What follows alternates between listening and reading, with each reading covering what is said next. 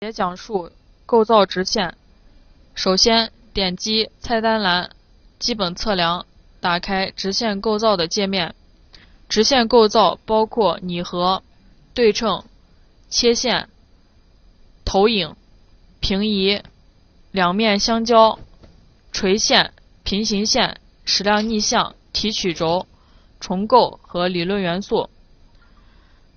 拟合是使用已有测量元素的特征点或测量点拟合新元素。要求第一个元素必须为实测元素，其他的元素可以为实测元素，也可以为理论元素。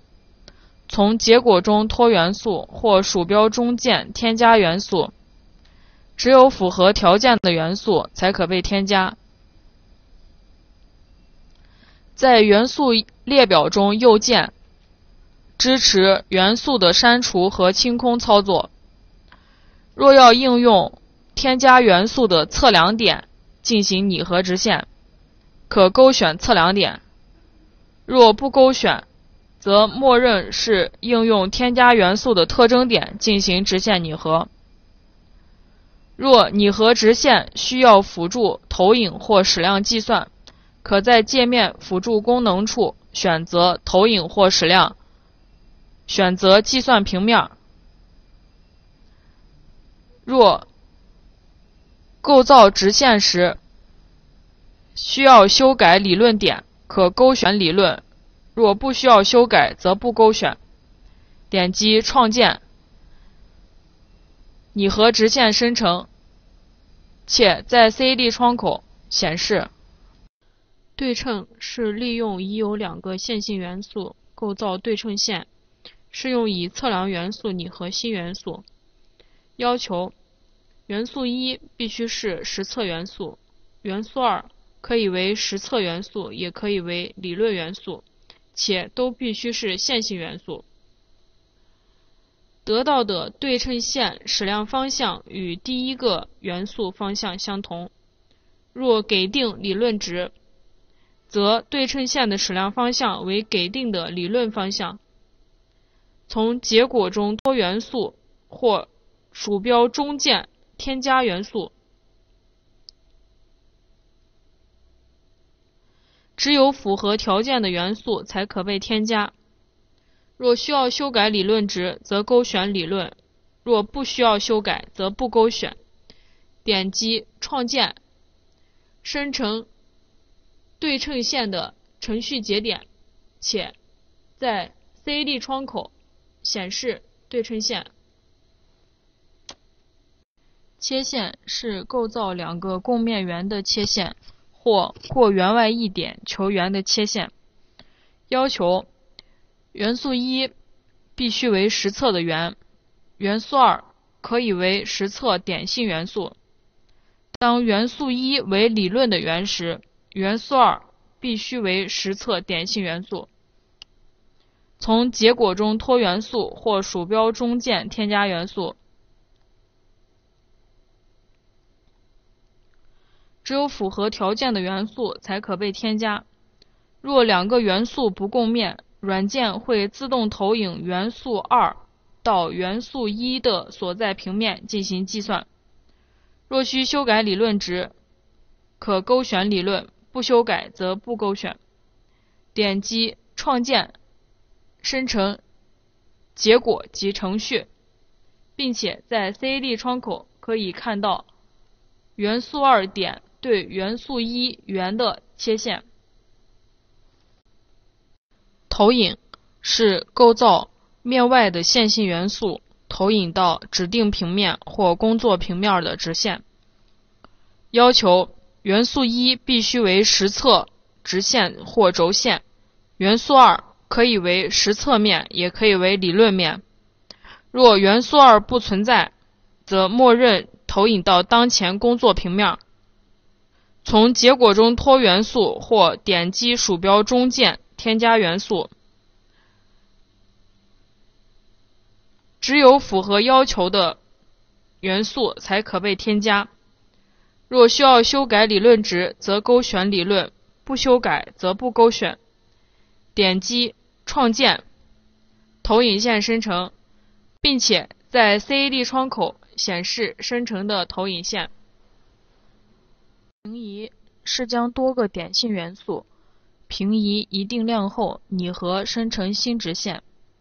要求第一个元素必须为实测元素，其他元素可以为实测元素，也可以为理论元素。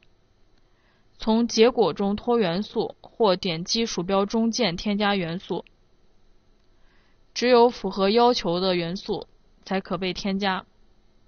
添加之后，在距离处双击输入每个元素的偏移量。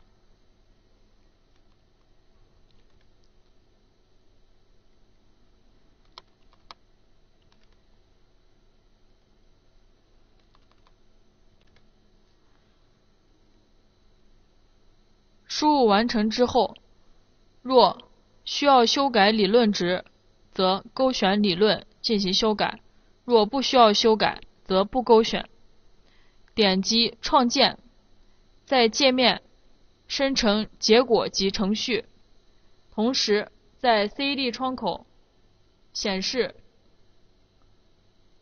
构造好的平移线。两面相交是构造两平面的相交直线。要求。元素一必须为实测平面，元素二可以为实测平面，也可以为理论平面。从结果中脱元素或点击鼠标中键添加元素，只有符合要求的元素才可被添加。添加之后，若需要修改理论值，则勾选理论修改；若不需要修改，则不勾选。点击创建。在界面生成结果及程序，同时在 CAD 窗口显示两个平面构造的相交线。垂线是过线性元素或平面外一点做其垂线。要求元素一为直线或者轴线或平面，元素二为点性元素。两个元素中至少有一个为实测元素。从结果中脱元素或点击鼠标中键添加元素。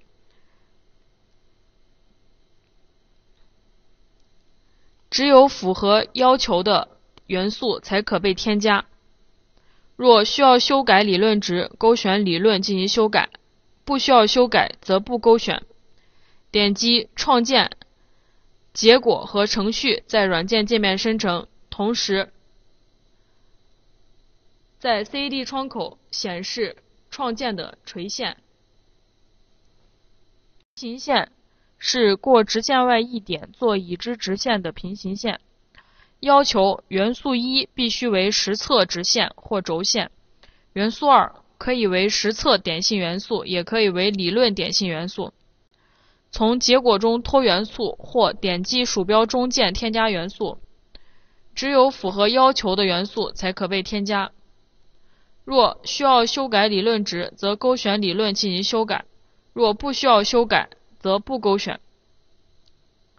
点击创建，在软件界面生成结果及程序，同时在 CAD 窗口显示构造的平行线。矢量逆向是将直线的矢量方向逆向后生成新的直线。这里我们将直线二原矢量方向为一零零的直线拖入到构造界面。若需要修改理论值，则勾选理论；不修改则不勾选。点击创建生成的直线十二矢量方向为负一零零，矢量逆向。且同时显示在 C D 界面。提取是将线性元素的轴线及椭圆、方槽、圆槽的长轴提取，构造直线。这里我们演示一下将方槽的长轴提取，构造直线。首先，从结果将方槽拖入到构造界面。若需修改理论值，则勾选理论；若不修改，则不勾选。点击创建，生成的直线十三为提取的长轴所构造的直线。同时在 CAD 窗口显示该直线。重构是将实测的直线重构生成一个新的直线，此种类型只能同类在线。